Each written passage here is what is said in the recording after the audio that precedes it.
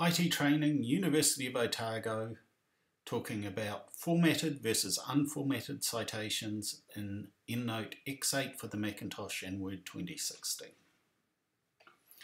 There are two forms of in-text citation when working with EndNote X8.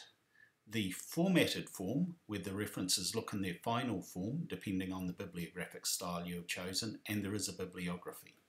And a raw state, where you see temporary citations.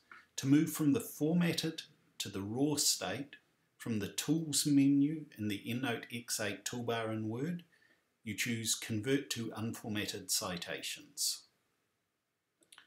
To move to the pretty formatted state, you choose the bibliographic style you wish to have the references formatted in, and from the Bibliography button, you choose to update citations and bibliography. The raw state contains no hidden invisible word field codes. So it's a very safe state to have the document in when combining documents. The pretty state does contain individual codes, so while it is easy to see what references are,